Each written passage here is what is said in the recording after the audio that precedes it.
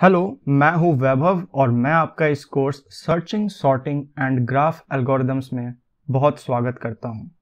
हम लोग इस कोर्स में काफ़ी कुछ सीखने वाले हैं और देखो, मैं ऑनेस्टली बोल रहा हूँ, मैं इस कोर्स में कुछ ज़्यादा टेक्निकल टर्म्स में नहीं बोलूँगा, क्योंकि हो सकता है जो बिगिनर्स हैं, उन्हें थोड़ा कन्फ्यूज़न हो।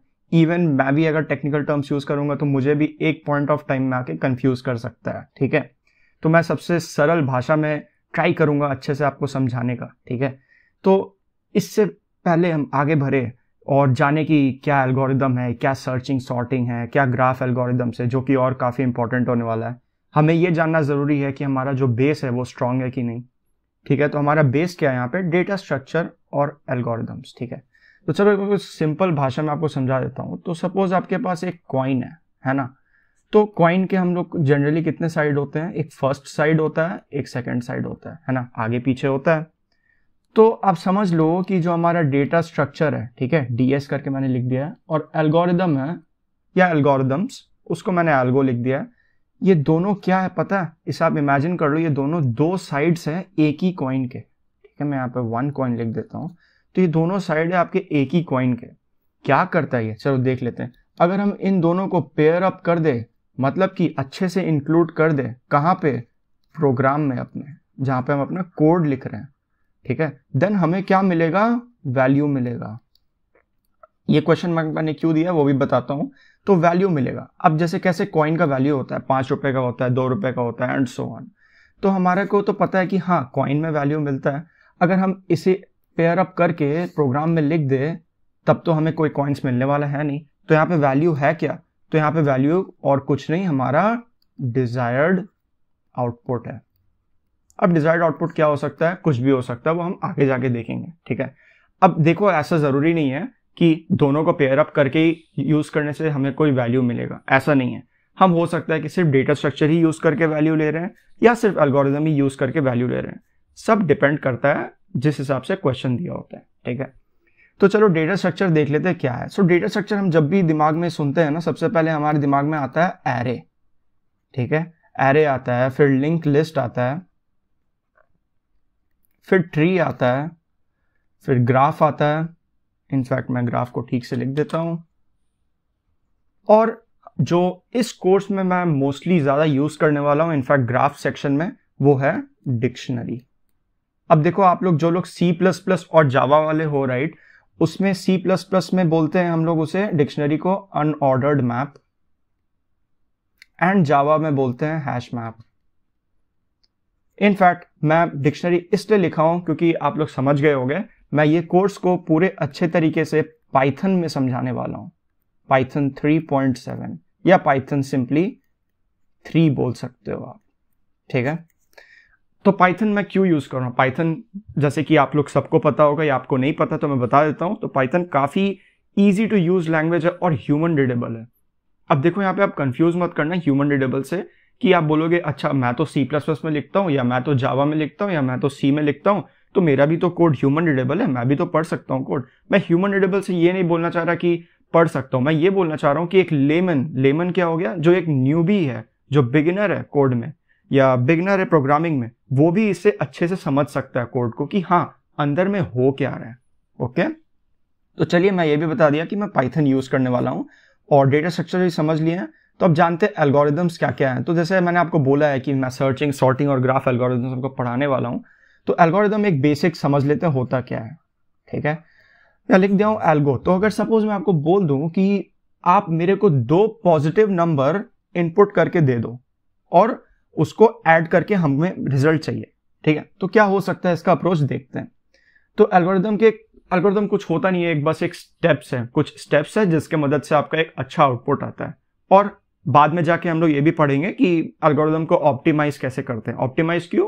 हो सकता है एल्गोरिदम ज़्यादा स्पेस ले रहा हो, या हो सकता है वो टाइम ज़्यादा ले रहा हो। अगेन यहाँ पे आप इतना कंफ्यूज मत होना कि स्पेस और टाइम में क्या बोल रहा हूँ। तो स्पेस एंड टाइम भी एक जिसे हम बोलते हैं स्पेस एंड टाइम कॉम्प्लेक्सिटी ये भी काफ़ी एक इंपॉर्टेंट फैक्टर है। वो आगे वाले वीडियोस में आपको अच्छे से समझा दूँगा। तो अभी बस आप फोकस करो, मैं क्या बोल रहा हूँ। तो एल्गोरिदम कुछ स्टेप्स हैं जिसको आप करोगे तो आपको एक डिजायर्ड आउटपुट आएगा, ठीक है?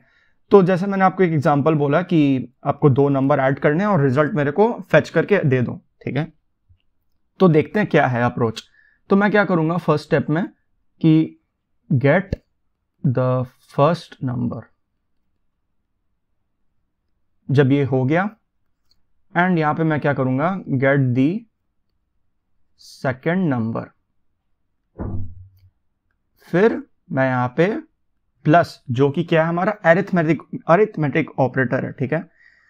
तो इससे हम क्या करेंगे? प्लस कर देंगे। सो so बेसिकली हमारा जो वन एंड सेकेंड स्टेप में था, उसे हम प्लस कर देंगे। इनफैक्ट मैं यहाँ प्लस की जगह थ्री भी डाल सकता था, ठीक है?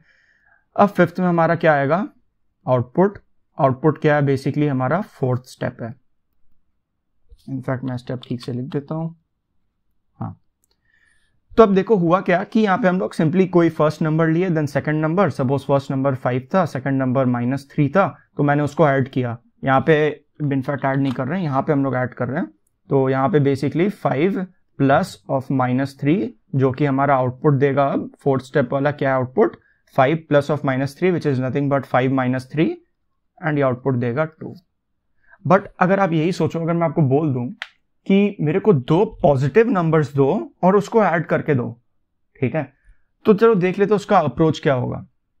तो मैं अभी के लिए इसे यहाँ पे रिमूव कर देता हूँ, जो भी मैंने नंबर्स लिया था। और आप ध्यान देना, मैंने अभी क्या बोला? मैंने बोला कि हमें दो पॉजिटिव नंबर्स इनपुट दो। पॉजिटिव नंबर्स नॉट नेगेटिव क्योंकि यहाँ पे मैंने एक नेगेटिव लिया था माइनस थ्री फाइव तो था पॉजिटिव उसका कोई प्रॉब्लम नहीं था बट मैंने एक माइनस थ्री लिया था। तो इसका क्या अप्रोच हो सकता है? हल्का सा चेंज होगा एल्गोरिदम मैं। यहाँ रेड से मार्क करता हूँ। गेट द फ़र्स्ट नंबर अब यहाँ पे इफ़ नेगेटिव आस्क अगेन ठीक है? काफ़ी आसान। यहाँ पे भी सेम चीज़ इफ़ नेगेटिव आस्क अगेन एकदम सिंपल और आप ये बोल सकते हो एक लूप बन गया आस्क अगेन से ये वापस जाएगा इस स्टेप पे। यहाँ पे भी आस्क अगेन से ये वापस जाएगा इस स्टेप पे। मैं यहाँ पे भी कर सकता था एरो बट ठीक है, यहाँ पे कर दिया मैंने। तो अब क्या हो गया? गेट द फ़र्स्ट नंबर तो सपोज़ मेरा फ़र्स्ट uh, नंबर आ गया यहाँ पे मैंने फाइव ले लिया ठीक है?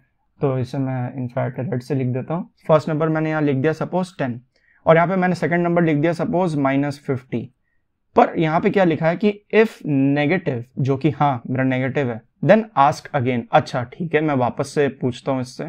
तो ठीक है मैं यहाँ पे क्या करता हूँ कि यहाँ पे मैंने बोल दिया माइनस फाइव फिर ये वापस यहाँ पे गया इफ़ नेगेटिव आस्क अगेन ठीक है?